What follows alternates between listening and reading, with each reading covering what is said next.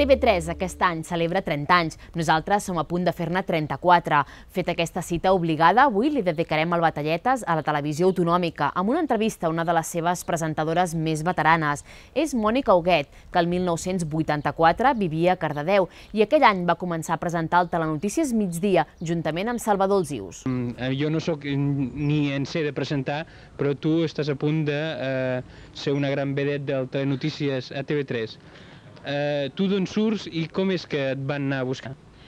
Jo estava estudiant periodisme a la facultat i a TV3 necessitaven una presentadora pel Telenotícies del migdia i van demanar gent a la facultat.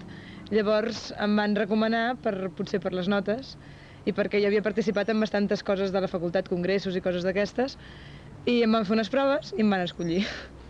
Però eh, això vol dir que en aquestes proves que t'han fet, eh, menys què és el que trien? Que sigueu guapes, que mm, el curs, penso que era el quart curs d'informatius, eh, que exactament les notes com han anat? Com s'escolleix això? Um, primer has de tenir una bona imatge. No vol dir que hagis de ser guapa, sinó que quedis bé davant de les càmeres. Després, doncs, que sàpigues portar un telenotícies. Vull dir, no només és presentar, sinó que tu has de preparar la notícia i l'has de saber redactar en llenguatge televisiu, etc. I després també ha sigut important, suposo, el currículum de la facultat. Perquè aquest telenotícies que ara sortirà amb TV3 és diferent de, del telediari o de tots aquests que estem acostumats a veure o com serà? Sí, sí, és molt diferent. També és diferent del telenotícies de la nit.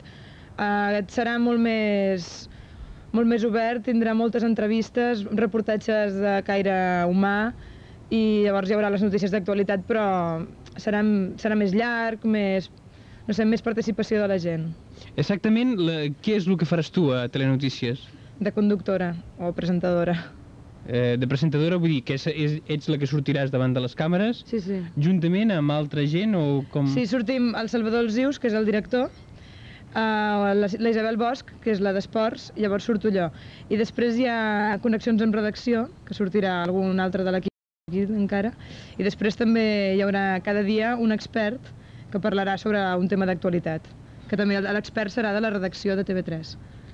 Això vol dir que si ets famosa, saltes a les càmeres, d'aquí a poc temps et veurem fent anuncis, com fan els presentadors de Madrid i tot això, i això, co- com et senta tu a la família, vull dir, saltar a les càmeres? No, no tinc cap intenció de fer anuncis.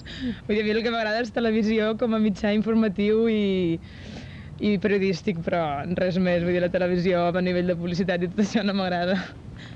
Bé, eh, esperem que quan dongui les notícies eh, de tant en tant faci algun salut als seus companys de televisió a Cardedeu.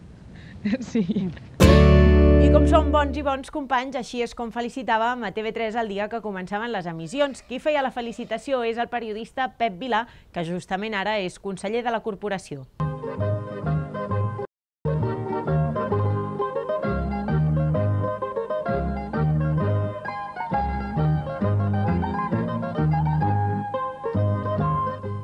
Bé, molt bona nit. Com ja hem anunciat al començament d'aquest programa, ara tenim la segona part del programa dedicat a la Festa Major, que és aquesta petita taula rodona que farem seguidament.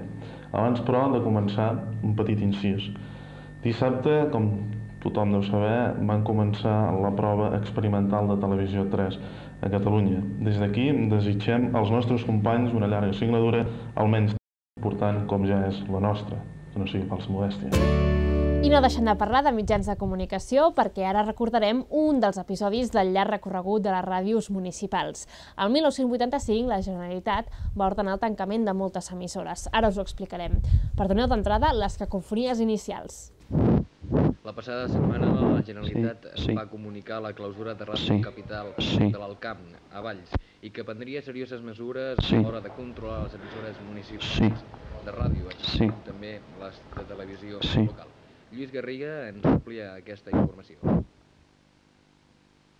Les emissores municipals de ràdio podran tenir problemes d'aquí poc temps si es confirma la posició de la Generalitat que la setmana passada va incoar alguns expedients administratius, algunes d'elles que emeten els permisos legals necessaris.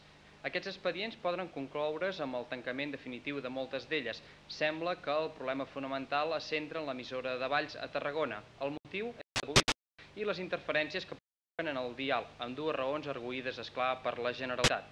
Les emissores municipals de ràdio són uns mitjans de comunicació molt específics. Van néixer a Catalunya just després de les primeres eleccions municipals democràtiques i actualment n'hi ha al voltant de 150. D'aquestes, tan sols 5 són legals. La resta han emès sempre amb el consentiment i moltes vegades amb el recolzament de les institucions. L'Associació d'Emissores Municipals, la MUC, que aglutina a totes aquestes ràdios, s'ha sorprès de les mesures de la Generalitat i ha demanat d'obrir un diàleg amb el senyor Agustí Gallar, que n'és el responsable de la FE, per tal de trobar una via de sortida a la situació. Una via, és clar, que faci possible la regulació legal de totes les emissores municipals i l'ordenament del dial de la ràdio. Però no tot són males notícies per les emissores municipals de ràdio. El passat dijous, la Diputació de Barcelona va signar un conveni de col·laboració amb les ràdios locals i amb l'Associació de la Premsa Comarcal per tal de potenciar aquests dos mitjans de comunicació tan propis de Catalunya. El conveni preveu una subvenció de 1.300.000 pessetes a cada una de les dues associacions. Així doncs, quan les emissores municipals de ràdio semblaven aletargades, possiblement per la competència que els hi fan les emissores locals de televisió, han arribat a un moment clau, un moment definitiu per saber, per conèixer el seu futur, un moment en el qual es pot decidir la seva mort definitiva o la seva consolidació definitiva com a emissores de ràdio.